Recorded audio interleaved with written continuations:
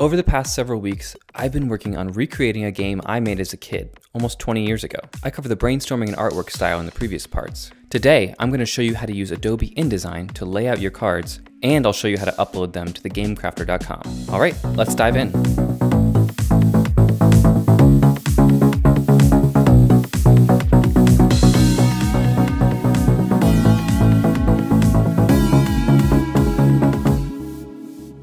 Hi, my name is Taylor Thomas Smythe, and I'm an author, designer, and creative. Before I go any further, I have to tell you about my book series, Kingdom of Florida. The seventh and final installment in the series is being released this week. I'm doing a special YouTube premiere video about it, so make sure to subscribe and set a reminder for that. Kingdom of Florida is a middle grade fantasy series, so if you like things like the Chronicles of Narnia, Harry Potter, or the Wizard of Oz series, then this series is for you. And you can catch up on the series at kingdomofflorida.com or click the links in the description of this video. About 20 years ago, I created a card game using MS Paint uh, and scans of hand-drawn illustrations to make uh, this game, which is called Xbots. Now, I am recreating it almost 20 years later into a professional quality card game. I go into a lot of detail on those in parts one and two of this series, so if you missed those, go back and watch those. But today I'm gonna do a little more of a walkthrough style so you can learn how to set up cards in Adobe InDesign and format them for thegamecrafter.com, which is a place where you can order and make your own self-published card games that are professional quality. I've used it before, I love it. This is not sponsored, I just am really excited about it and the tools that it enables you to have to be able to make your own games. So really excited about it. Um, but let's dive in. There are plenty of ways you can design your cards. You can use Adobe Illustrator, Photoshop, uh, InDesign, or there's free things like the GIMP, Canva can probably work. Um, but today I'm going to be using Adobe InDesign because one, because it's the thing I'm most comfortable with.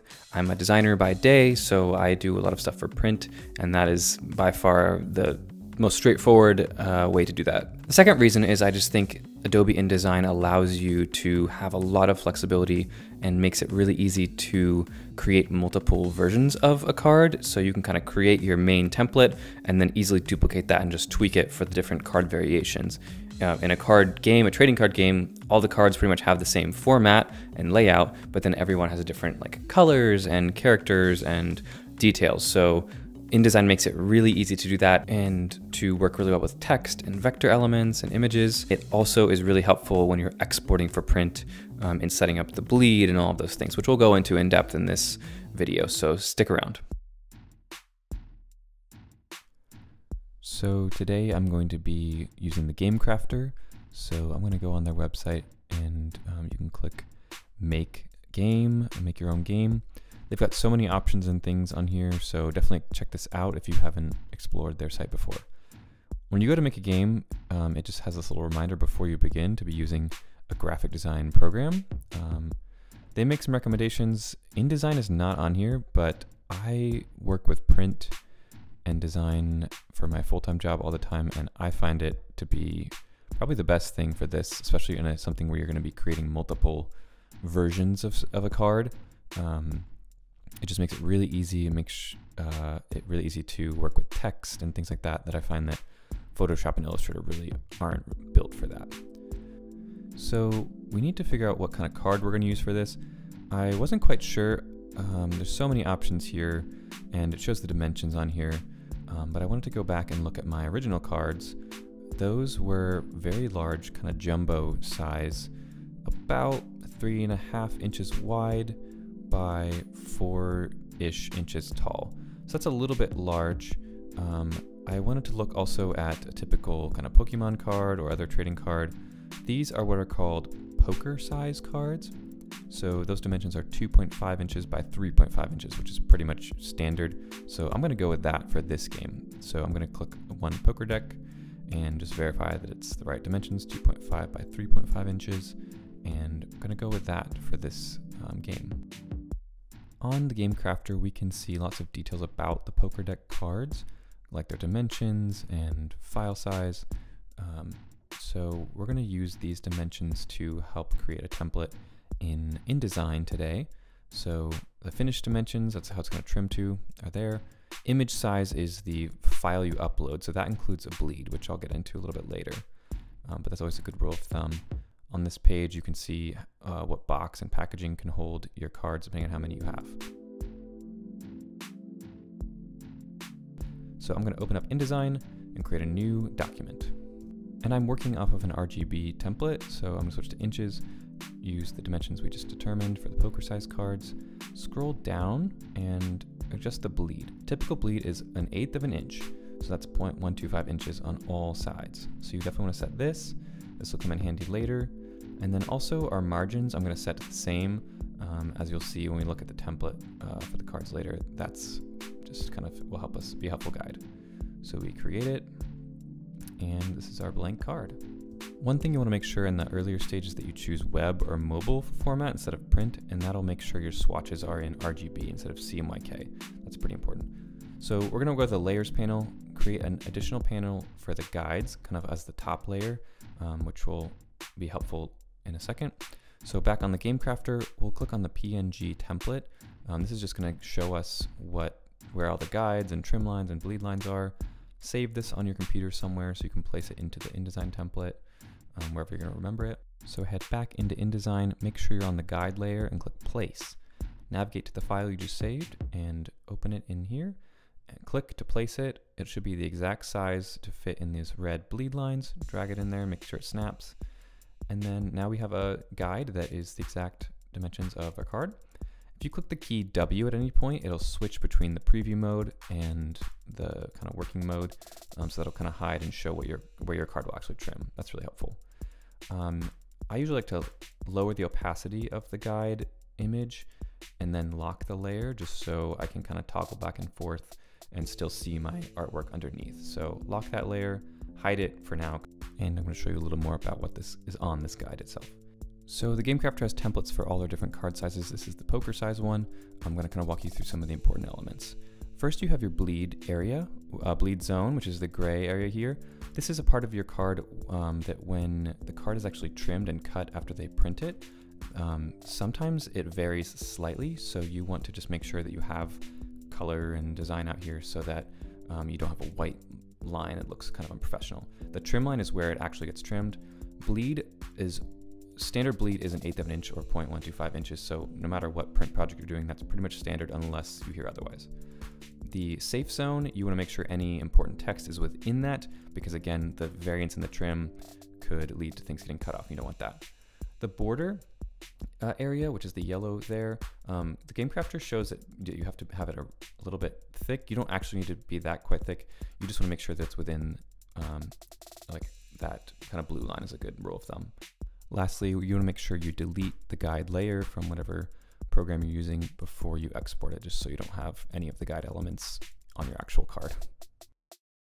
Now, before I start adding elements to this card, I just wanted to look back at some actual cards for reference. Um, so I'm looking at just some Pokemon cards, um, just to see what elements they have. Usually there's a frame for a character, there's their name at the top, some sort of symbol or you know hit points. Um, different class and category things. Um, their actual powers and special abilities are all in here. Um, some cards laid out different differently. I'm trying to think ahead um, to you know things where I might need to add a lot of text or some that only have a little bit and a design that might work for all of the above. Um, so just looking at a couple more. Um, they're pretty straightforward. I don't really like all the like 3D effect on uh, cards. I think it looks cheesy, so I'm not gonna be doing that but I do love all how colorful they are. I like how some of these have images that like spill out of the frame. Um, so that's all just good inspiration. One of the reasons I like InDesign is because of how it sets up the swatches. Um, it sets them up for printers. So um, a swatch in here will apply wherever you have that swatch in your document, it'll apply, you know, if you edit it one place, it'll change it everywhere um, because it's like formatting it as if you were using inks uh, on a printing process. So uh, I'm just going to get started with a border. Um, again, remember we want it to go all the way to the bleed and at least all the way up to that kind of interior safe zone. So I'm just working with uh, an outline border here. Press W to preview it. Um, looks good to me. That's kind of how it'll, the width it'll be on the actual card. So to me, that looks great. Next, I'm going to start working on like a frame for uh, the character image. So I'm just going to add a rectangle frame and uh, kind of play around with it. Um, just looking back again at some reference images, um, just I kind of might want to, you know, make it similar style to this. So just helpful to have references handy so you can kind of go back and forth. Um, I will make it a little narrower. And all of this is subject to change. Um, right now I'm just showing you how to do a card. I still have to figure out the rules and what the gameplay actually is going to look like, which may change all of this drastically, but um, kind of just getting the basic elements laid out because that you might have on your card um, as a helpful guide. I'm adding a text box and for the kind of character name or card name at the top, um, I want to pick a font that's really narrow because you know you only have such a limited space here. You pretty much only have one line, so if you have a longer name or title, you want to make sure it can fit there. So I'm using this font called Roc Grotesk, um, which is one I like, and it has a condensed version that keeps it very narrow. So again, just kind of playing around with the size and elements and placement. Um, I'll kind of tweak it as I go, but um, uh, yeah, just kind of getting it in place. Um, going back over to Illustrator, which um, if you want to learn more about how I got all of this, you can look at my previous video where I talk about the character design and inspiration. For some of these special shapes and things, I'm actually going to just copy from Illustrator into InDesign rather than exporting it. So these are main vector items that I can easily change and tweak the points and the colors. Um, this will make it really flexible because I'm going to be tweaking a lot of those things across the deck of cards. So I might use the same shape, but want to change the color for a different card and so forth. So um, really easy to do that in the swatches.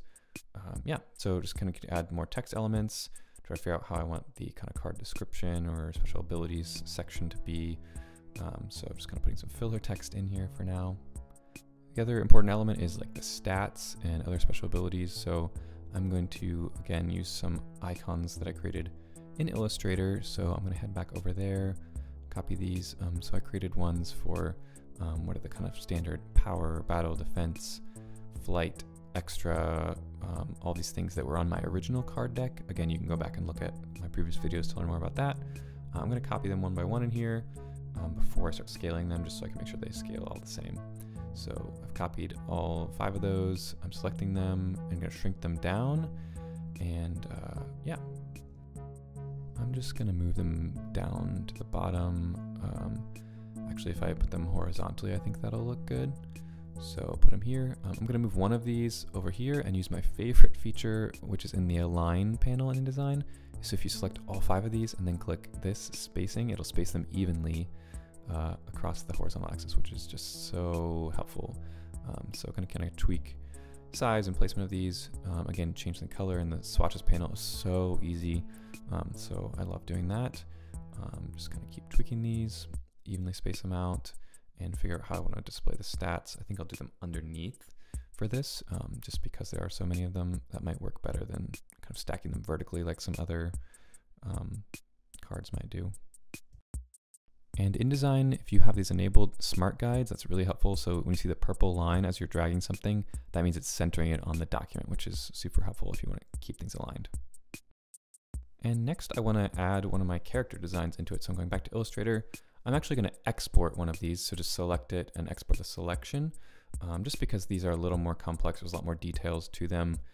So InDesign doesn't usually like having super detailed vector things. So exporting it and importing it as a PNG will be the best thing. So just find a place on your computer where you want to save these um, and it'll export it at whatever format you chose. I chose PNG, sized up four times, um, just so I get a good crisp image. So it's exported and you can see that it's right here. Looks great. Um, it's transparent background. That's what we want. I also want to think about what the background behind that transparent character is going to be. So I'm gonna look at some swatches. For now, I'm just gonna fill it with a solid. I think I might add something more photographic or like painterly behind it. Um, I'm actually going to copy and paste in place a second version of this exact thing. So I can have the frame of the character in front and the background behind it as separate things. So I'm pasting or placing him in, sorry. Uh, I'm gonna fit him. And if you use the direct selection tool, which is the white cursor, you can scale what's inside of a frame without adjusting the frame itself. So this keeps it bounded by the box. And just a hint, um, you can see it's kind of pixely. So if you actually right click on the character and choose display performance, you can do high quality display and that'll sharpen it up. Um, InDesign keeps it in a kind of a preview mode so it doesn't take up too much of your memory as you're working. And I'm taking that frame for the character and just shrinking it down a little bit which will just allow me to access the frame behind it easier. And then I'm also turning off all the colors for the front frame so it doesn't obscure anything. Um, just messing around with some different background colors. I think I like this. Just to kind of make an aside about swatches, um, I'm going to delete extra swatches and going to show you that if you adjust one, it adjusts that color wherever you have it in the document. So I find this really helpful. If you aren't used to this, this might throw you off. If you're used to other programs where an image, you know, an element just retains its own color no matter what you do, this might be different, but you can easily copy that uh, swatch and create a new swatch that doesn't affect other ones if you want to add multiple colors and things without messing with things. So I'm actually going to load the swatches we created in the previous video. That way I'll keep all my colors consistent across both the robot characters and the card elements themselves. And I really want it to have a cohesive kind of color palette. So this will be really helpful. I'm going to delete colors that I don't need. Um, when you delete a color that's already in the document and being used, it'll prompt you if you want to replace it with another color. So this is really helpful. I'm just going to replace it with the RGB from my palette so I know that I'm not having duplicate colors. Um, and same thing, delete the cyan and replace it with a color that's similar to it from my swatches.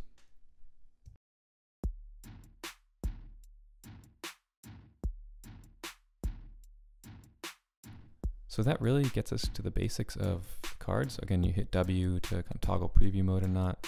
We can check the guide again to look at, make sure where everything's in the right place and not spilling out in the wrong place. Not gonna get trimmed weirdly. Um, again, see the dash line is right where it needs to be. Safe zone, all text is within that. Um, the bleed extends where it needs to go so that we'll have a nice blue edge instead of a white line.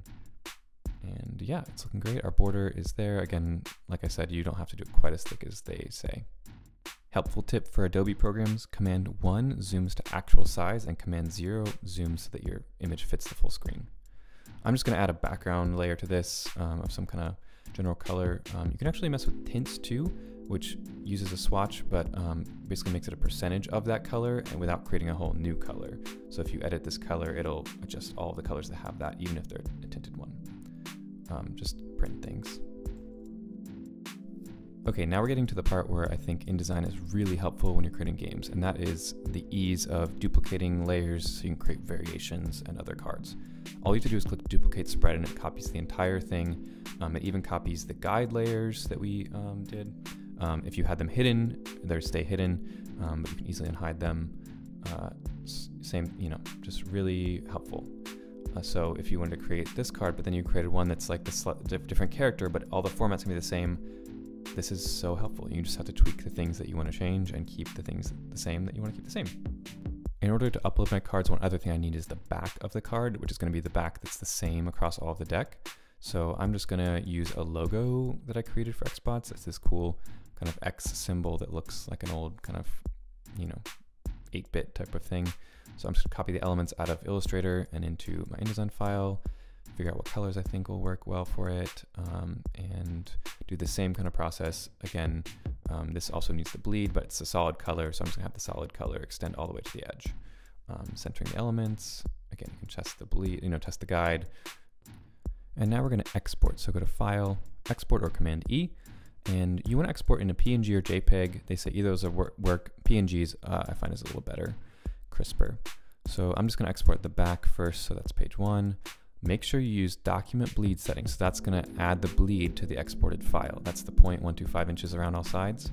Also export at 300 dpi or ppi and um, export it. And you'll see that if we go preview it, there it is, uh, exactly as we want it, the right dimensions. I'm gonna do the same thing with the card, export that. Um, you can also export them all at once, but I like to export them separately so I can just name the files as I go. Um, but if you were just exporting your whole deck, you can do that and it'll add iterative numbers to the file names, um, so you don't have to worry about doing each one individually. And now that we have some cards created, we can actually make our game in Game Crafter. So you go to Make, Make Your Game, and then scroll down to the bottom where you can kind of start a new game project. I'm just going to give it a generic Xbots trading card game name, click Create Game, and it'll take you to the, your kind of dashboard. You're going to add custom components because we're using custom cards. Um, you go to the cards on the side. But there's so many different elements you can do to create a game. Definitely explore this if you're interested in creating games. We're gonna use a poker deck because that's what we're designing the size for. Add to game, and this will start a new deck file. So I'm just going to give it, again, generic kind of name. Click this to upload. Um, you can also drag an image in. So I'm going to drag, this is the back of your card first, and because this is going to apply to all of your cards, so they have you do that first. So just literally just drag it over, and it adds it and imports it. And this little kind of yellow thing means you need to have proofed the card. So you just click that and it'll open the proofing window. A few things you see in here are the enable or disable cut lines. That's just showing you the preview of, again, where your card will trim. Um, it will not print with that, even if you have it enabled while you approve it, like it'll go away. It's not gonna be on your card. This color filter is just kind of a simulator of how it might print slightly different from what your screen shows. Click approve and um, it's now approved and you don't have to worry about that. Then you go to add card to start adding the front facing sides of the cards. Same process, um, you can uh, use the back from the whole deck, or if you wanted to customize this, this specific card, it from back, you can click it right there and it'll give you a chance to upload it. Um, but I'm gonna upload this first kind of card art. Same thing, make sure you proof it and approve that, make sure it looks good. On that little box with the upload, it shows you the pixel dimensions, so you can make sure your file matches those dimensions before you upload, um, just in case you have any issues. Um, you can also adjust the quantity of this particular card, so we wanted multi multiple iterations of it in the deck, you can just set it there. Um, there is a way to upload, a kind of batch upload files and auto name them. I haven't done that before, but that's what that little dialog was about. Um, we can go back to our deck um, and see the cost of this game so far. Um, kind of a minimum because you have to print at least 18 cards with this, so that's why it's 288 when they're say they're like 11 cents a, you know, card. So um, but yeah, you can kind of go back and forth here. On the right, you can see all the stats. You can find out what box can hold this based on how many cards you have. Um, it's in increments of 18. Um, so you can type how many cards you have in the top of that box and it'll show you which ones will fit that from tightest to loosest fit. And just a few other things you'll see on this page on the right side. You can see the price per item. You can find those templates. Um, items per sheet, there are 18 cards that print per sheet. So you have to do your game in increments of 18. The bulk pricing is really nice if you're ordering a lot more of these. Um, if you're ordering 10 of them, you know, the price goes down, 100, so forth. So really helpful. And again, there's the dimensions there if you need a reference.